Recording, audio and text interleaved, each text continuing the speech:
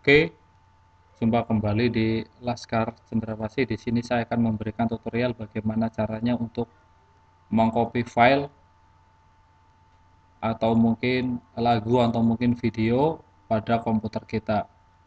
Mungkin kita sering terburu-buru dalam melakukan pekerjaan dengan komputer.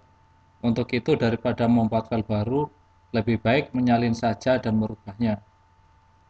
Dikhususkan buat Anda yang sedang belajar komputer atau memang belum mengetahui atau lupa, berikut tiga cara untuk mengcopy atau menyalin data, lagu, dan sebagainya di komputer.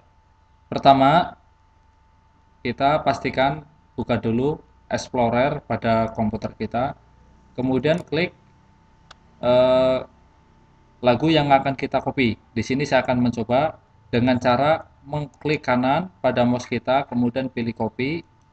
Setelah itu tentukan folder yang akan kita masukkan di situ. Di sini saya akan mencoba klik test. Nah, di sini muncul. Kemudian klik kanan, kemudian paste. Nah, maka lagu atau file yang kita copy tadi akan menempel secara otomatis di folder yang kita tentukan di sini. Anda bisa lihat sendiri, demikian tutorialnya. Jangan lupa klik subscribe untuk mendapatkan video menarik lainnya. Terima kasih.